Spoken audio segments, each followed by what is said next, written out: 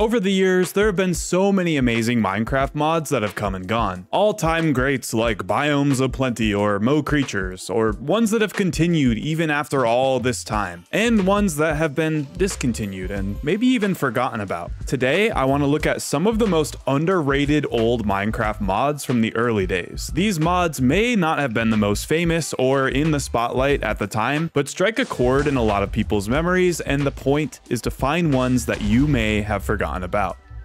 Okay, Mojang, don't kill me for this first one because we know how you feel about this nowadays. The first one on the list is SDK's Gun Mod, originally being released all the way back for Alpha 1.2.6. I was only able to find the beta version of the mod, but there are a few videos showcasing what it looked like in Alpha, which is kind of a wild trip to watch. As the name obviously suggests, SDK's Gun Mod added a ton of different firearms and other weapons to Minecraft, from rifles to flamethrowers flamethrowers to grenades. This was extremely different from vanilla, and the textures of the icons looked so out of place and goofy in the blocky world. But I won't lie, the mod is fun, even to this day. Considering the only ranged weapon back then was a primitive bow and arrow, it was so fun to mess around with, especially fighting hordes of hostile mobs at night, or using the explosive weapons to mess up the terrain. SDK, or Scotty Does Know, stopped updating the mod in official release 1.3, but will forever live as a very nostalgic memory for many.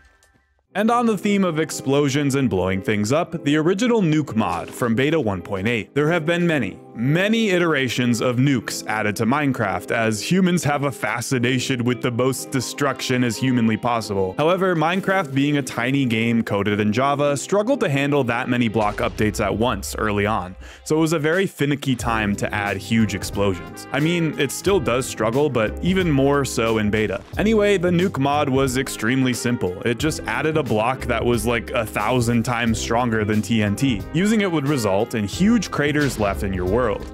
Perfect for quickly making a bomb site or meteor site for an adventure map, for example, looking for ores quickly, or just adding a wasteland type area to your world. Now you may be thinking, Ryan, what about the TNT mod? That adds so many more explosions and explosive blocks to the game, including nukes. Thought about adding that one, but it was incredibly popular, so to fit the theme of underrated, forgotten mods, I went with the simple option. And speaking of going with the lesser option, this next one sadly came and went, like a fleeting Hallmark movie romance. The Moon mod, featured by the Yogscast. This one honestly inspired this whole video, as I remember watching the Moon mod video in 2011 when it came out and being so entertained and awestruck. When you think of Moon mods, you probably think of the original Galacticraft, which was the huge one at the time, and came out a little after this Moon mod, which completely overshadowed and arguably killed it. But this one was thrust into popularity by Lewis and Simon making this video about it. The mod is a bit whimsical and goofy as to get to the moon, instead of a rocket ship, you have to build a portal out of cheese blocks, which Simon got a huge kick out of. The moon itself wasn't super interesting, just a dark hunk of gravel and stone with lowered gravity. You could see the blocky earth in the sky, which was pretty cool. There were also little aliens running around, and Simon thought that that was the funniest thing in the world. But other than that, the mod didn't offer much at the time, but had huge promises to be continued and worked upon and added to.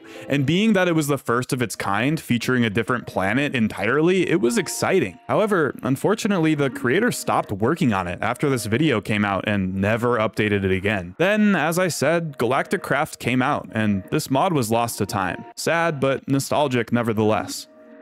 The next mod is one of my favorites of all time, and definitely deserves an entire video dedicated to it, but I'll briefly talk about it on this list. To sum it up, Better Than Wolves was a mod created originally for Beta 1.4, which was the Wolf update, that completely overhauled vanilla Minecraft and took it into a different direction. Now, I've covered a lot of modern quote-unquote parallel timeline mods on my channel, or mods that are designed to imagine an alternate path of Minecraft development, and this one, Better Than Wolves Wolves is the one that started that entire genre. From windmills to water wheels to pulleys and other machines to utility items like cauldrons, cement, and detector blocks. It not only adds and tweaks blocks and items, but adds completely new rules and challenging survival mechanics to enrich the game experience and not give the player any handholding at all. Like for example, movement speed being slowed on sand and faster on stone to encourage path building, or not being able to create water source blocks by moving water with buckets. The story is kind of hilarious too. The developer, FlowerChild, hated the addition of the Minecraft wolf so much that they created an entire overhaul of Minecraft designed for the quote, serious player and like-minded individuals. I will probably make an extended video someday as a sort of retrospective for this mod, as it could be an over an hour long to tell the full story and cover all of the mechanics and items. But if you've ever wanted to try an entirely different Minecraft beta experience and haven't touched Better Than Wolves, it's definitely one to get under your belt. It was incredibly ahead of its time, like unbelievably so.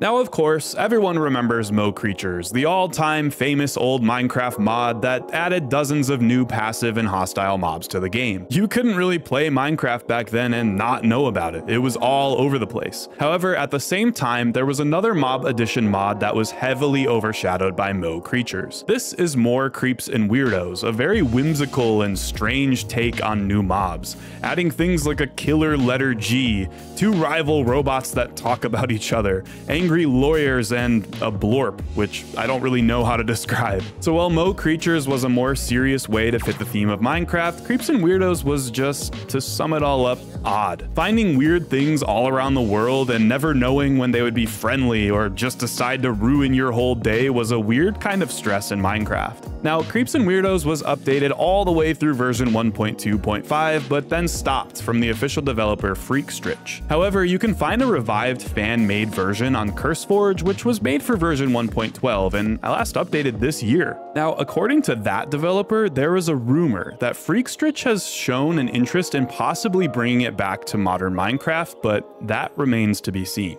I just want to say now that we're halfway through, if you enjoy nostalgic and old themed Minecraft content and don't know who I am, subscribe for videos just like this and be sure to check out some other stuff on my channel for all the cozy nostalgia feelings. The next mod is one of my favorites, just because you can get lost for hours messing around with it. This is Shapeshifter Z, a mod originally made back in the early Minecraft release days that allows you to transform into any mobs in the game. And not only does it just transform your character's shape and model, it also gives you the abilities of the mob you transform into. For example, being a spider allows you to climb walls, or being a ghast or the ender dragon allows you to fly around, or being an enderman allows you to teleport over long distances. The best part is the full server-side version that easily allows you to host the server with Shapeshifter Z. Super fun to mess around with other people on. The mod was unfortunately last updated in version 1.6, meaning you could become a horse and Magma Cube, but never touched after that, which is sad, considering how many cool mobs modern Minecraft now has. I mean, there's a lot of shapeshifting mods out there, even one that lets you do all of the mob abilities like the Morph mod, but it would have been cool to see the OG one stand the test of time.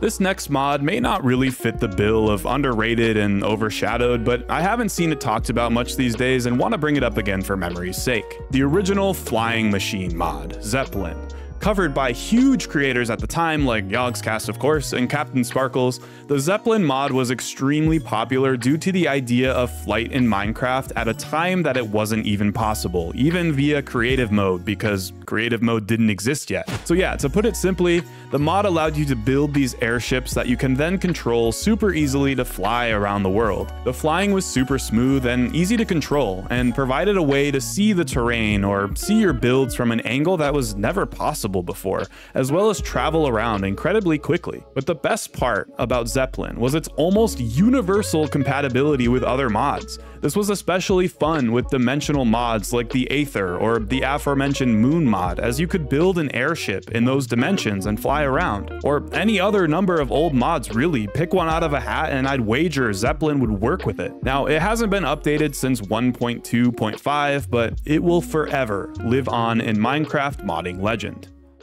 The next one on the list is a collection of four smaller mods actually, DaftPVF's mods to be exact. There are four mods by DaftPVF, Tree Capitator, Floating Ruins, Crystal Wing, and Starting Inventory. Treecapitator was very simple, but very cool. It broke trees completely upon breaking the bottom block, similar to felling a tree in real life, making woodcutting not the most tedious chore in the game. Floating Ruins add in, well, floating ruins as a generated structure to Minecraft. They generated on these cool looking floating islands in the sky and would have specialized designs based on the biome they were in, as well as loot and mob spawners. Crystal Wing adds the Crystal Wing item, crafted with an ender pearl, gold ingots, and feathers that gives the ability to instantly teleport you back to your spawn point, whether that means the world spawn or bed location. However, you can only do it 7 times until the Crystal Wing is destroyed. That's kind of overpowered considering how decently easy the materials to make it are to acquire, but super cool nevertheless. And lastly, starting inventory allows you to set a, well, custom starting inventory full of any items you choose when creating a world. This is useful for challenges, things like themed maps, or just spicing up the game in any way that you want. These four mods were very simple, but also very popular at the time. DaftPVF didn't make anything else, as far as I know, but these mods laid the groundwork for many similar mod packs, mod extensions, and mod compatibility. Long before you could make baby animals appear by breeding two parent mobs or find them randomly in the wilderness, baby animals did not exist in any capacity in Minecraft. So enter the Baby Animals mod, which was created in beta 1.7.3. Now, as we know, Notch added animal breeding with baby animals shortly after in the beta 1.9 pre-releases, so while this mod was ahead of its time by definition, it wasn't for long. It was very simple. It added cute baby variants of every mob in the game that you could find in the world. It just spiced up the diversity of mobs, and did I mention it was cute? Now, it has an interesting story, as when Notch released his own version of baby animals to the official game, the developer, Coco Valley, instead shifted her mod into replacing Notch's baby animals with her own models, as people loved them a lot. I even stumbled upon a debate thread comparing her baby animals with Notch's, and she won by a long shot. Anyway, Coco Valley kept up with Notch's mob updates until version 1.6.4, where the mod was put on hiatus indefinitely and hasn't been touched since. I couldn't find any source on if this is true, but I have a hunch that the baby animals mod inspired Notch in some way to add his own versions into the vanilla game. Last but not least, the Coral Reef mod. After being thrust into the spotlight by the Yogscast in 2011, are you noticing a theme of my inspiration? The Coral Reef mod very simply added coral reefs into the oceans, something that didn't come out into the vanilla game until over 7 years later in the Aquatic Update, aka 1.13. It was incredibly colorful and vibrant, adding life to the otherwise dull oceans. And my god, oceans were dull and lifeless for an insane amount amount of time in the vanilla game. Just squids and dirt and sand and gravel and endless dark water. You could collect different types of coral and some new colorful blocks. What was fun, and what the Yogscast did for that video, was combine it with the old scuba diving mod and crystal clear water mod for a really immersive experience, as well as allowing you to breathe underwater. This is just another of the laundry list of examples of a mod that was eventually added into the vanilla game. I've always had this conspiracy theory that Notch and later Mojang Mojang took huge amounts of inspiration from popular mods, and if you look at it through history, it seems like it could be true. Remember that this video was meant to be some underrated, out of spotlight, and lost to time mods, so if I missed any that you were thinking of, that's likely why. Thanks for watching, let me know in the comments of any other ones that fit the bill, leave a like if you enjoyed, join my Discord for updates and to hang out with me, and I'll see you in the next nostalgic video. Special shout out to my channel members on these signs, especially my knight members Crimson, Thomas Wellman Boyd, Melon Siggy, Alex LG, Caden TMG, and the AB Rail Fan. And as, al and as always, my beloved Lord members Vapichu, Tor Willem, and Dirty Dan.